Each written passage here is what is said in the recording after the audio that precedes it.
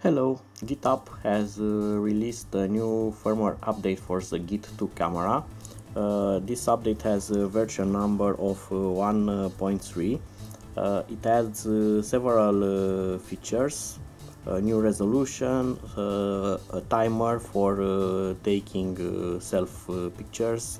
It also has improvements for screensaver, for using large size SD cards, better uh, Uh, estimation of uh, battery runtime and also some uh, other fixes.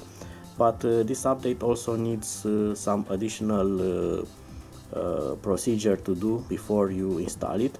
You need to update a loader file first for the camera. So after the loader you can actually load the firmware itself.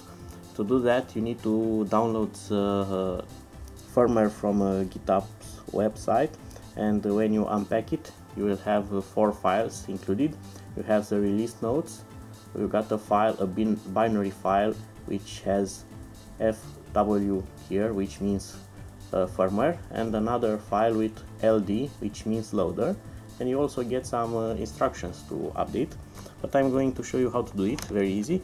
You just need the USB cable. The SD card is uh, already inserted into the camera. So I'm going to plug in the camera on the USB wait for it to start up. And I'm going to select my storage.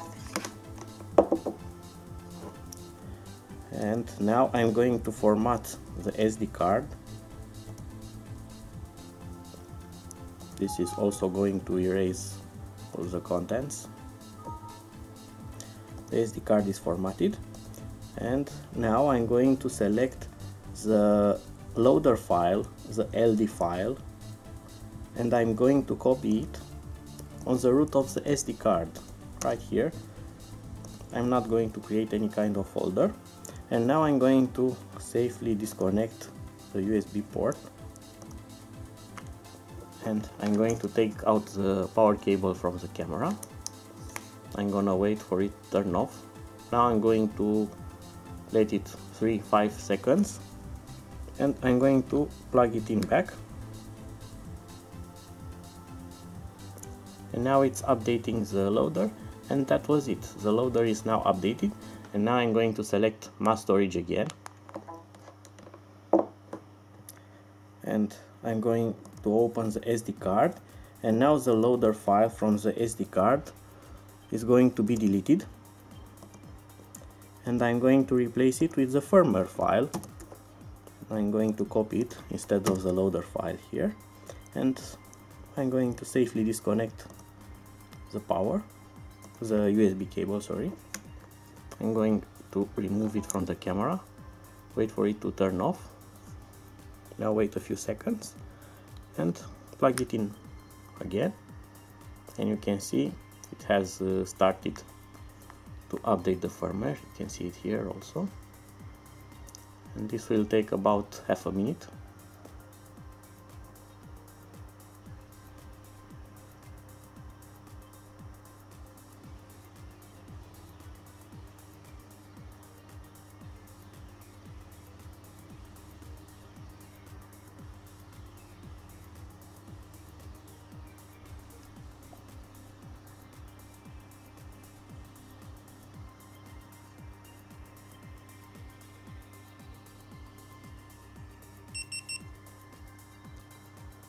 and the update was successful.